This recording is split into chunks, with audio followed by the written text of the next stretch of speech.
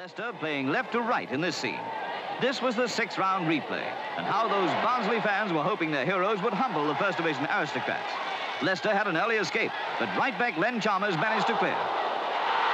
The visitors attacked, switching play to the other end. Riley scored for Leicester.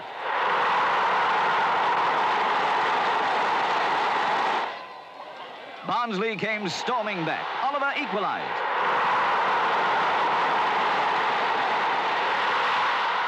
Oliver tested Banks. This time, the Leicester goalkeeper was equal to the occasion and had no difficulty in getting the ball away, at some loss to his dignity. Leicester began the second half hoping that class would tell.